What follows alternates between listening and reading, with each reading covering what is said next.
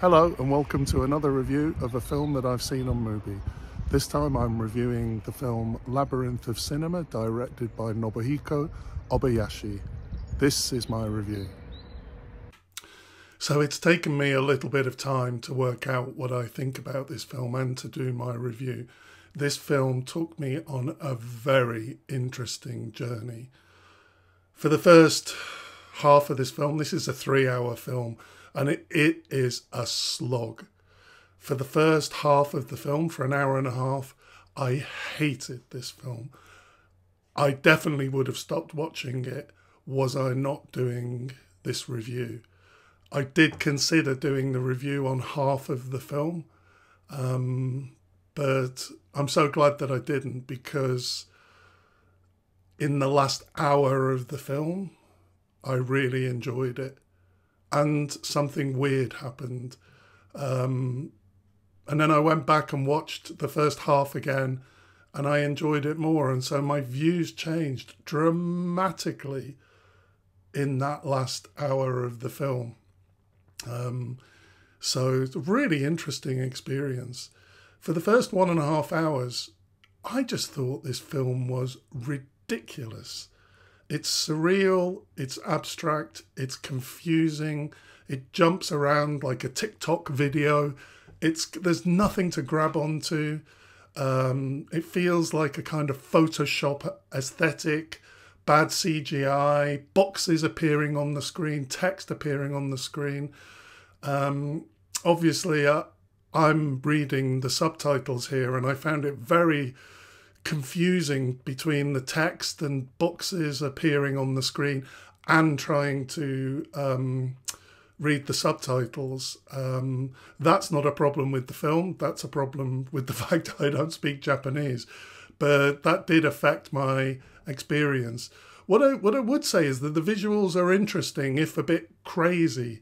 So I wanted to be looking at the visuals, whilst having to read the subtitles and trying to understand what was going on in this film.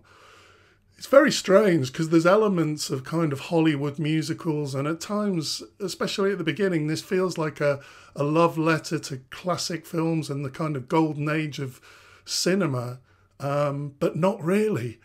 It's it's not. It kind of seduces you a bit in thinking that's what it is, and then there's something kind of darker underneath, something much more serious. And um, clearly, many old Japanese war films are reenacted here. You do kind of get that. You do understand that eventually.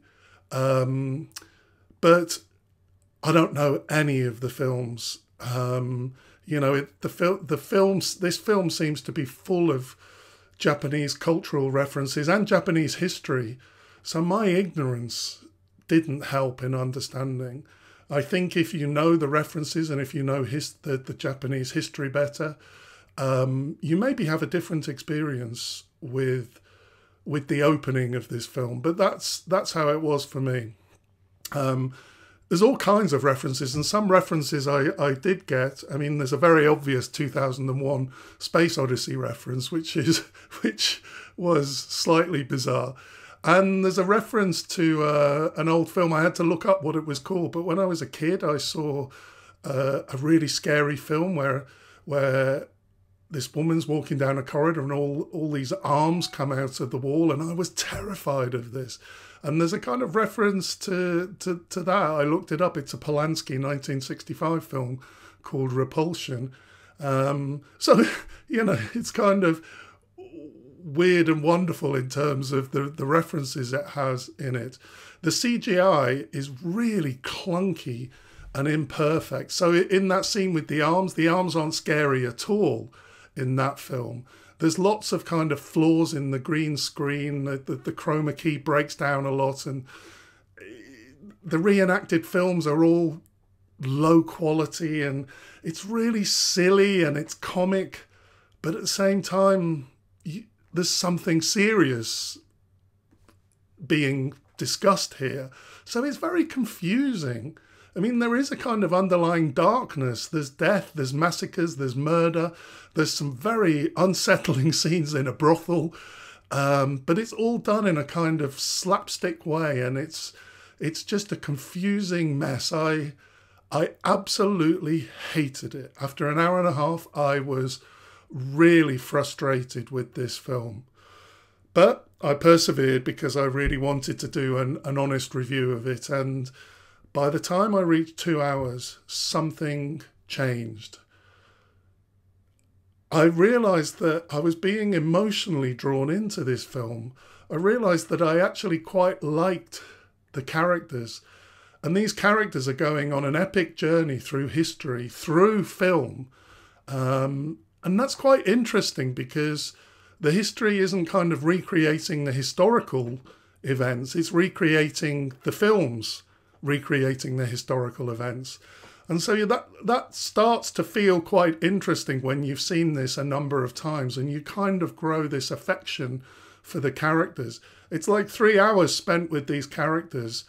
You you really grow to like them. It reminded me it's a very different film, but that 5-hour Japanese film called Happy Hour from 2015, directed by Ryusuke, Ryusuke Hamaguchi. Um, by the end of that film, you love the main characters. You just want to spend more time with them because you've spent five hours with them um, and gone on this journey with them. And, and it was similar to that. Um, as the film goes on, it definitely becomes less comic and, and more serious. Um, but the key hook, the moment when I really started to feel that something had turned, was when we realized that the film is moving towards Hiroshima and the atom bomb. Um, and this kind of feels like when the film allows itself to do this, it becomes less frenetic. There's a little bit more obvious story um, and less screen activity. It, it, feels like there's there's a structure to the film then that you can kind of grasp onto. Um, it's really interesting because obviously the the main characters know what's going to happen uh, with Hiroshima, but the people in the films don't. Um, they're still optimistic that Japanese that, that Japan could win win the war or not lose the war. Um, and so it's interesting because it's it's it's about going back in time, um, but not really in a way that they can change things because they're in films where what's going to happen is already decided. They've gone back in time to the fantasy world with of the of the actors.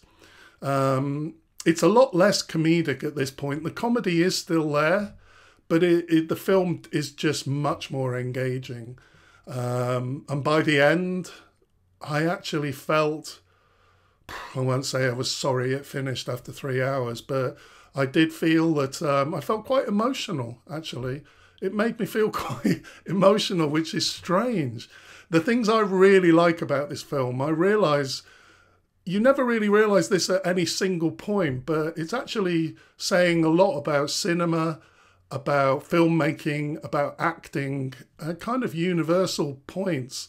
There's lots of Japanese filmmakers and poets and playwrights from history that appear in this film, so people playing them. Um, it's never really obvious, but but at the end, this all adds up to something, and I and I really liked that. And this it has a really interesting approach towards the third world, third wall. This because the main obviously the main characters break the third wall by going from the audience into the film there's a little bit the other way of people that are in the film being on the on the stage in the cinema as well but principally it's about the main characters being in the film. Um, and it's fun this. It's interesting the way they jump from film to film the way they're suddenly in different costumes and hairstyles and they they, they look at each other. And and they're, they're, they're aware that they're in a film. You know, they get scared at times that they're, they're going to be injured or killed, but they're aware that they're in a film. There's, there's some lovely points like where the music changes and they know what the music change means in terms of films. Uh, and I really liked that.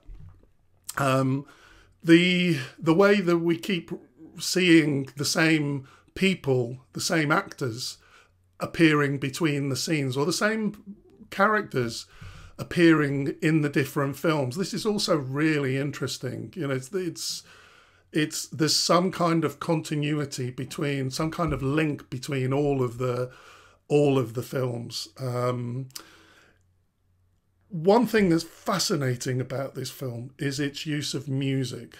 The music is really manipulative in a really interesting way. So it uses cinematic styles of kind of action films, of Hollywood love stories, of, you know, the golden age of cinema. It's completely throughout the whole film. Um, manipulating your emotions through the music, music, raising expectations in terms of what we expect. You, you realize the power of music in filmmaking that you can completely change a scene by the type of music. So even when the film is abstract and weird, the music is telling us something. And so it's all a bit of a strange mix, but eventually the music emotionally started working at me, working away at me. So there is an element by which you do feel like you've seen a great Hollywood kind of war film love story, um, which is, you know, quite a feat. It's really, really strange. Um, the film's too odd to ever become sentimental, but I I didn't actually cry in this film, but I did feel quite emotional at several points, particularly once we reached the climax of the the Hiroshima and the and the and the day of the atom bomb. It actually gets quite moving. Um, so to conclude, I think this film is a strange mix. It's kind of half cynical about cinema and half in awe of the power of it, but it really works. And it's it's one of those pieces of the jigsaw film that you just need to pick up the pieces as you go through, and then at the end, they somehow came together for me. It really, as as I was watching it, especially in the first half, it just appears too silly to be making a serious point. But then you realise the, that the points have been made. At the end, you you realise this film is actually saying a lot about war, about humanity, about art and cinema and poetry, and it's pretty amazing for that. What I what I did do was at the end of it, and I can't believe I did this. I wouldn't have believed it when I was one and a half hours into the film that I was going to do this. But I watched the first half of the film again. I watched the first one and a half hours that I hated, and I enjoyed it much more the second time. It's I under I had a structure, I had a context, and it made much more sense coming back and watching watching it again. So it took four and a half hours to actually appreciate this film but it was that was really really worth it in the end. And it does it does raise the point in watching art house movies that you know I, I i always kind of look at my first instinct to a film but sometimes you have to persevere. You have to be patient in in giving a film a chance to to work on you to speak to you. And in the end this film did win me over. So I would cautiously recommend this film, but not if you don't have the patience to really invest some time in um, giving this film a chance to to let the pieces work on you. Um, if if you do feel you have the patience, then I actually highly recommend this film. I I think it's potentially a a weird, wonderful, genius film incredible. Really, really worth seeing. Next time, I'm reviewing the film Lemebel from 2019, directed by Joanna Reposi. See you then.